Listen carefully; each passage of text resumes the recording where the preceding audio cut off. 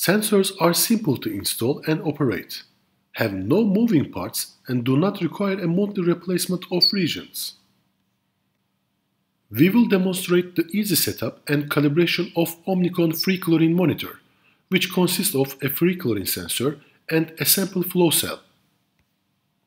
It only takes a few minutes to assemble the sensor or to perform any routine maintenance. The sensor kit includes a probe with a membrane cap, a one-year supply of electrolyte, and a single piece of blue abrasive paper. Certain precautionary measures must be taken. Before a membrane cap is ever removed, it is critical to slide the elastic seal away from the tiny vent hole. Failure to do so can result in permanent damage to the membrane. Also, do not touch the membrane surface, which is located on the tip of the cap, or gray-colored reference electrode. The assembly process is quite simple. Clean the working electrolyte by placing the blue abrasive paper flat on a paper towel and run the tip across the paper two or three times to clean the gold surface. Slowly fill the membrane cap to the edge with electrolyte gel, not allowing any air bubbles to form. Hold the probe body upright while inserting it slowly into the membrane cap and screw the cap onto the probe.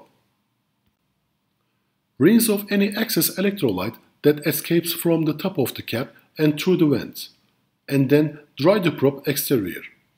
Now be certain the membrane cap has been hand tightened as far as it will go.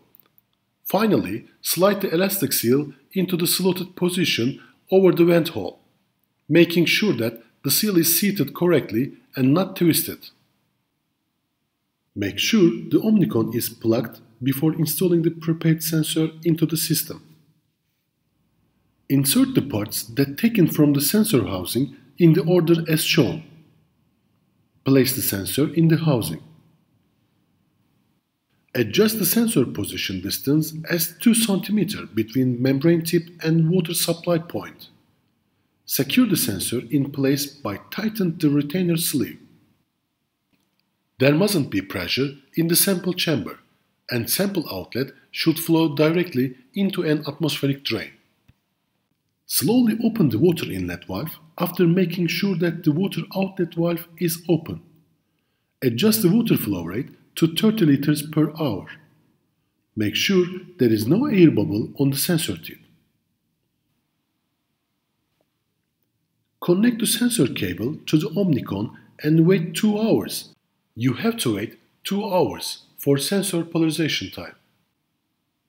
Meanwhile, there must be free chlorine in the water at least 10% of the maximum range of the sensor. For example, if you use free chlorine sensor with 0 to 5 ppm range, there must be 0.5 ppm free chlorine in the water that you measure. And this water must pass through the sample chamber during 2 hours. Two hours later, take a sample water in order to measure in your photometer and check free chlorine level of the water. Go to the calibration menu from the main screen. Your password is 4 times 2. Choose New Calibration section. You should see a row value close to the reading value on top of the screen. Enter the value that you read on the photometer in the field seen as BF2 and save it. Return to the main screen. On the main screen, you should see the value that has been read on the photometer with a maximum deviation of plus or minus 0.01.